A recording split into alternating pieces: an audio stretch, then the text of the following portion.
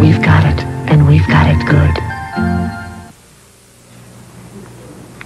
The last time the games were held in L.A., 1932, the woman to watch was Mildred Ella Didrikson.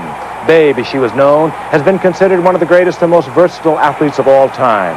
That year, she took home a silver medal and two golds, one of them in the 80-meter hurdles.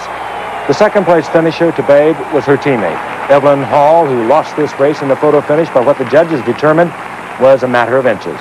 Evelyne Hall Adams joins me along with Susan Clark. There's the photo right there. Watch for yourself. And Evelyne Hall is with us, Evelyne Hall Adams, I might add, and Susan Clark, who portrayed the babe in the Emmy Award-winning television movie. They're with me this morning. And Evelyne, uh, it's been 52 years ago. Uh, you did hit the tape simultaneously. They gave you the same time, but you got the silver, she got the gold. Uh, it was a judgment call.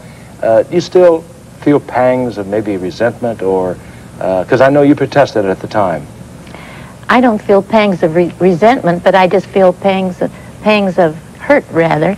And I just feel that somehow maybe this might be justified, and particularly since the two girls were given gold medals in the swimming, Under maybe, today's rules, it would have been right. two golds. Well, you see, the camera was not official at that time, Mm-hmm. and so... Uh, and no electric timing device. no, no.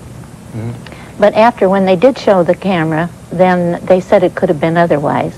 And I felt it could have been otherwise. You followed, of course, Babe's career after that, uh, which we know her primarily after that as a, one of the great golfers of all Yeah, all she time. was. She was a marvelous golfer. Did you ever talk with her and discuss it?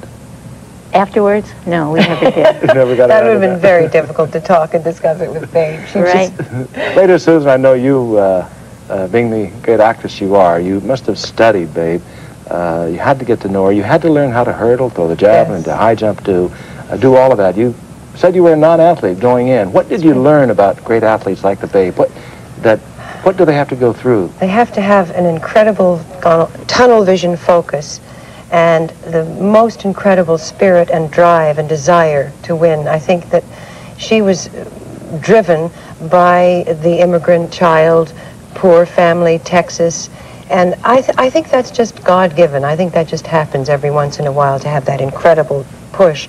What the learning of all those sports uh, taught me was freedom.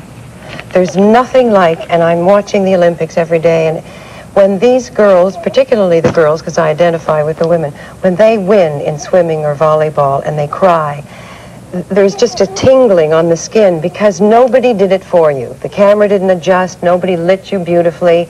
You didn't have four weeks rehearsal in a play, you had to do it then. And it's eight years or 20 years or whatever for 20 seconds. It really is. It's uh, they're just a little different than the men. Evelyne, uh, watching the Olympics, it has to bring back some wonderful memories. Now, let me just point out that you have stayed very close to the Olympic movement. You're part of the Spirit team of '84. You've been involved in coaching, and you stayed very close to it. But watching the Olympics come back to the Coliseum must be something special for you. Oh, it is. It, it makes me very emotional because I can understand with what the, everyone is going through. And I mean, 52 years, I mean, just seems like yesterday because it just wells up inside of you. And I mean, you're so thrilled to be a part of it, and you're so proud that you're an American. And it's just, it's just the most wonderful feeling that there could ever be. It really is uh, remarkable that what the two of you have done, you in your own way as an athlete, staying close to the movement. Susan, I think giving uh, the artistic expression to the babe that you did has done a great deal to help women's sports. Uh, you, both of you must be very proud of what's happened. We have uh, parity uh, at Wimbledon. We have Yes. Dinah with the $400,000 golf tournament. We are going to have coverage today of the heptathlon, the opening of track and field. You, most, you both must be very proud of it. I think it's I think it's fun and I think it's time and I think it's exciting that that uh, women are now good enough and women care about watching women. That's the big thing. It is. And a lot of it, credit goes to both of you. Thank Thank you you. for being with us. Thanks, Thank you. Ray. Thank you. very much. All right, we'll be returning with more.